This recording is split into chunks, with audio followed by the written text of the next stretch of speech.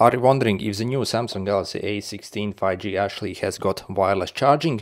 Well, I have some very bad news for you. This phone actually doesn't have wireless charging. Also, this year they have also removed the headphone jack from this phone, which is kinda ridiculous. Also, when you purchase this phone, inside the box you will only get your a cable to charge this phone. You do not get the adapter itself so there is no charger included as well with this phone.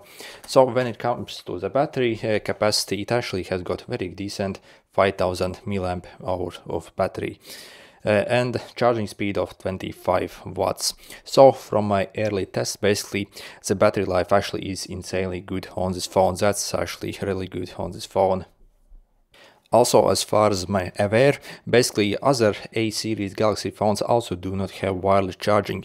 So if you actually maybe want to get wireless charging on this phone, there are actually some uh, like stickers that you can stick on the back of your phone if you use a case. So you can basically stick over here and it simply plugs in your like type C hole over here.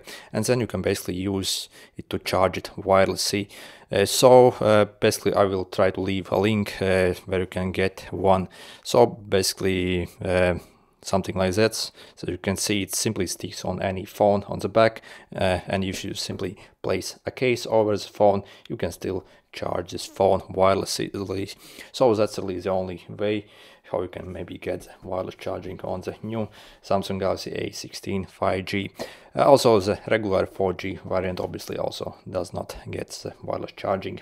Anyway, sorry for the bad news. Good luck.